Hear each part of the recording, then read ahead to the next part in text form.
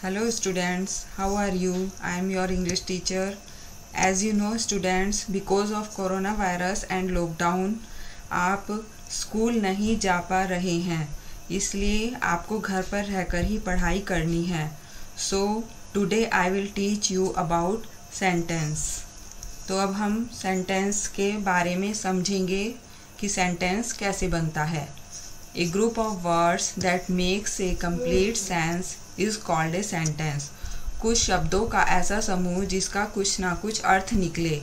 ऐसे शब्दों को हम सेंटेंस कहते हैं। सेंटेंस बनाते समय हमें कुछ बातों का ध्यान रखना चाहिए।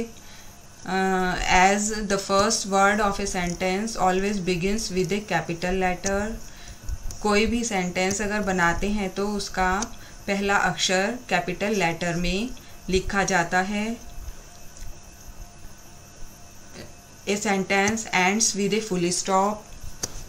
कोई भी सेंटेंस हो, वो उसके लास्ट में फुल स्टॉप लगता है और तभी सेंटेंस कंप्लीट होता है या फिर किसी भी सेंटेंस के अंत में क्वेश्चन मार्क लगता है। यदि किसी सेंटेंस में क्वेश्चन पूछा जाता है तो उसमें क्वेश्चन मार्क लगता है। और एन एक्सक्लेमेशन मार्क और यदि किसी सेंटेंस में कोई आश्चर्यजनक बात कही गई है तो एक्सक्लेमेशन मार्क लगता है। अब आप सेंटेंस की कुछ एग्जाम्पल्स देख लीजिए। नंबर एक the stars are shining in the sky यानी तारे आकाश में चमक रहे हैं। अब ये एक कंप्लीट सेंटेंस है, जैसा कि आप समझ ही रहे होंगे, एक मीनिंगफुल कंप्लीट सेंटेंस है, जिसका कुछ ना कुछ अर्थ निकल रहा है। The second example is books are our best friends किताबें हमारी बेस्ट फ्रेंड होती हैं। तो ये भी एक कंप्लीट सेंटेंस है। Jupiter is the largest planet in the solar system Jupiter हमारे सोलर सिस्टम का सबसे बड़ा प्लैनेट है। तो ये भी एक कंप्लीट सेंटेंस है और आप देख रहे हैं, सभी सेंटेंस में पहला अक्षर कैपिटल लेटर बना हुआ है और लास्ट में फुल स्टॉप लगा है। Next example we should get up early in the morning हम सुबह जल्दी उठ, हमें सुबह जल्दी उठना चाहिए। यह भी एक कंप्लीट सेंटेंस है।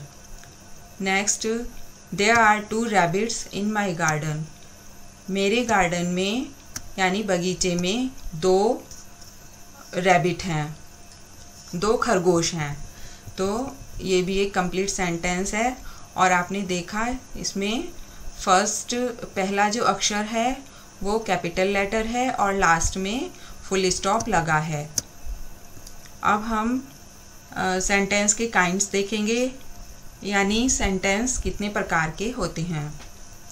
नंबर एक एजर्टिव और डिक्लेरेटिव सेंटेंस नंबर दो इंटेरोगेटिव सेंटेंस नंबर तीन इम्परेटिव सेंटेंस नंबर चार एक्सक्लेमेटरी सेंटेंस तो बच्चों, आपको सेंटेंस के बारे में समझ आ गया होगा कि सेंटेंस में हमें किन चीज़ों का ध्यान रखना चाहिए।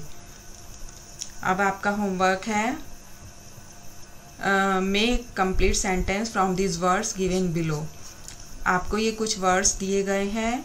इनसे आपको एक एक कंप्लीट सेंटेंस बनाना है।